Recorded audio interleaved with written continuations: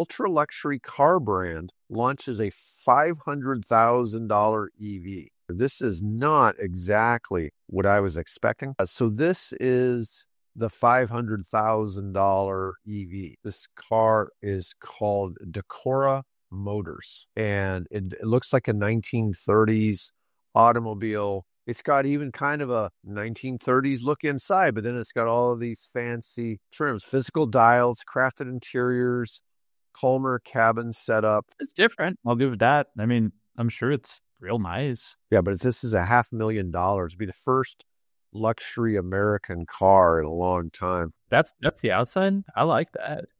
Pretty awesome. I wonder how much I, I I need to put down to reserve one. Let's just see what we get. Oh, fifty thousand dollar refundable deposit. That's a little more than the fifty bucks for the Scout. yeah, when you can do a fifty dollar deposit, that's a different story than fifty thousand, right? Um, that's ten percent of the price.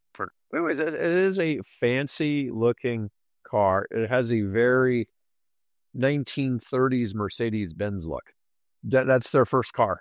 This is their first car. Oh, Yeah, and they're starting right out at a half a half a million dollars.